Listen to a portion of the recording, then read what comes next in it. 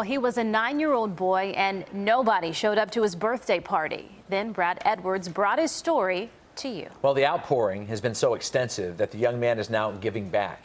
Here's Brad's remarkable update in an original report. Gerald, your friends are here. Say hi to Brad. Hey. So there's this in this room. Wow. There are rooms of gifts, So what do you think, Brad? Wow. thousands of cards. Chicago Bears sent him a card. The video What? from Hawaii. Yeah, the chairman, Your friend, your friend. George McCaskey. And we're going to an Indiana Pacers playoff game. Reggie Miller gave me tickets. Flashback.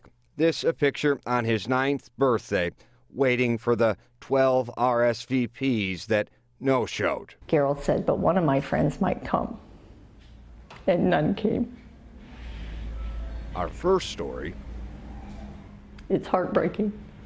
He's just a kid who wants friends to play with. What'd that feel like? Sad. I'm going in the car. Today, Gerald wanted to share his riches. He's had several major brain surgeries, skull expansion surgery. Let's go. He wanted to share with kids like him. I'm so proud of you for everything you've done. Here, River Forest, not his school. Hi.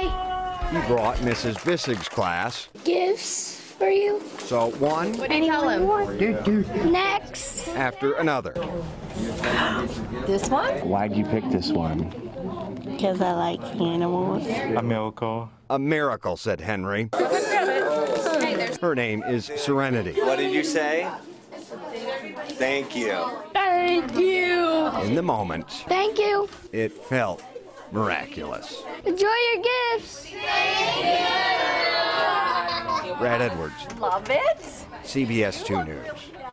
Well done, Gerald. And he hopes to one day deliver more gifts to the hospital where he had several successful brain surgeries. You know, in the previous story, he said, All I want is a friend. Oh. I think he's got a few friends. And you can tell with that kind of character, he deserves friends. Sweet boy, thinking of others. Giving back. Ah, well,